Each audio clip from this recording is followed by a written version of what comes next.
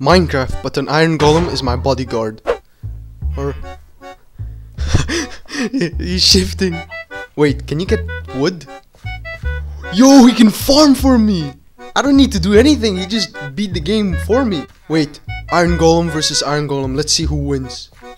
Yo, my iron golem is insane. Yo, bro, you just hit me. Come on, bro. What are you doing?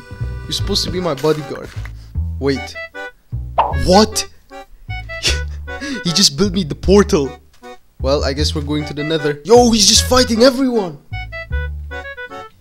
He's on a rampage. Alright, we finally come to the end. Now let's see if we can beat the ender dragon.